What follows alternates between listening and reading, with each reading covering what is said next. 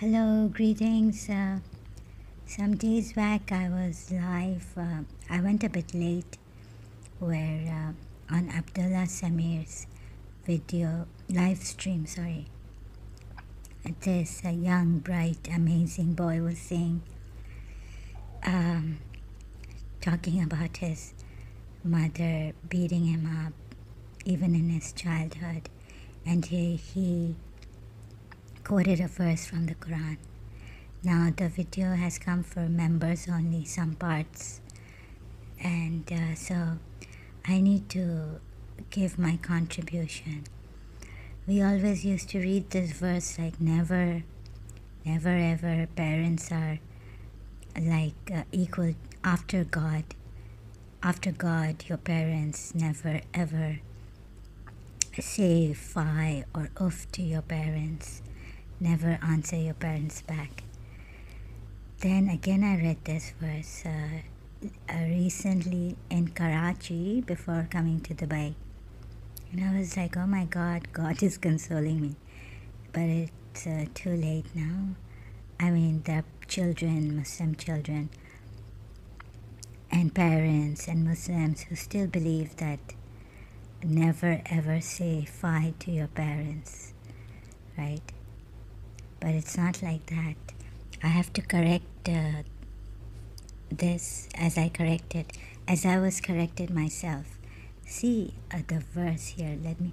I'm still kind of confused and nervous because you know this is the Quran and we were told never ever. So did I really read it in my madness uh, when I had gone mad? And your Lord, did I read it wrong? And your Lord has decreed that you not worship except Him, and to parents, good treatment whether one or both of them reach old age, whether with you. Say not to them whether. Okay, this is a bit. Uh, thy Lord, let's see, this is Sahih. I, I think I, I was reading big no, Yusuf Ali or I had an Ahmadi Quran. Translation in English Thy Lord hath decreed that you worship none save Him and that you show kindness to parents if one of them or both of them, if reach what? Attain what? Old age with thee Say not fie unto them, nor repulse them, but speak unto them a gracious word. So, this is when we were children and helpless, they took care of us. When they reach old age, they're feeble. So, uh, the, I can uh, explain further about this verse to you, but here, just want to make this quick correction if one of them or both of them attain old age with thee, say not fie unto them, nor repulse them. So it's not never, never, ever, ever say fie or repulse them.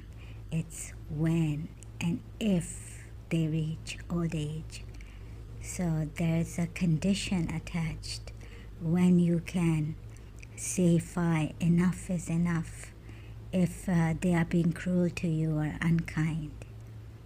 Okay, so like if we, it didn't make sense, like be kind to your parents, but if what if they are being so cruel as beating you up black and blue, um, then you know, uh, then you have to uh, do something about that.